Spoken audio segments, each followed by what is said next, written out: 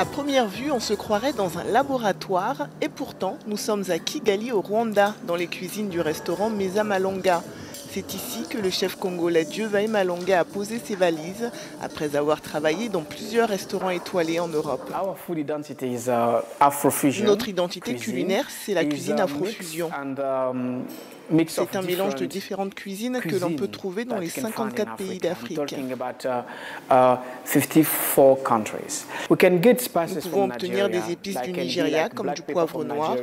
Vous pouvez avoir de la banane plantain d'ici au Rwanda. Ou vous pouvez obtenir de la viande du Burundi. Tous ces éléments viennent de différents pays et nous créons une recette à partir de ces éléments que nous avons. C'est pourquoi je l'appelle l'afrofusion. Et même si ça n'en a pas l'air, il s'agit bien de cuisine africaine. Dieu veille s'inspire de différents plats traditionnels du continent. Je voyage dans différents pays, mais j'apprends aussi des grands-mères. Et quand je reçois une vieille recette, je la porte dans mon laboratoire et nous essayons avec mon chef de lui donner une touche moderne. La plupart du temps, je m'inspire des recettes de grand-mère pour créer quelque chose de nouveau.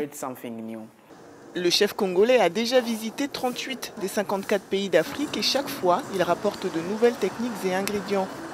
Son ambition, dépoussiérer la cuisine africaine. Quelque chose de différent se passe actuellement en Afrique. Les gens veulent en savoir de plus en plus sur la cuisine africaine parce que quand vous allez sur Google, il n'y a que du riz, du mafé, du yassa, mais la cuisine africaine, c'est plus que ça.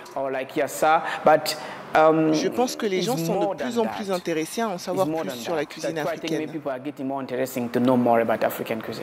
À Kigali, Dieuvay Malonga travaille avec 10 jeunes cuisiniers, essentiellement rwandais, mais aussi burundais, ougandais ou tanzaniens. Il souhaite en former beaucoup plus pour continuer la transmission.